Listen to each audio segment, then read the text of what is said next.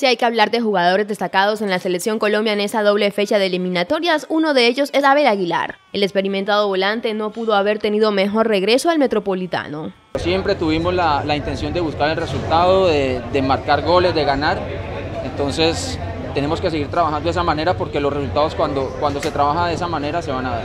El bogotano con raíces costeñas no defraudó en la primera línea de contención y con su gol frente a los charrúas demostró que aún tiene mucho que aportarle a la tricolor. Hay que quedarnos con cosas muy positivas, con el esfuerzo y con el compromiso de cada uno. Otro que merece una mención aparte es Jerry Mina. El espigado defensor tuvo un gran debut con la tricolor ante Paraguay y frente a la celeste cuando todo parecía perdido, apareció como una ráfaga y se levantó por los aires del metropolitano y con su cabeza salvó la patria a la selección.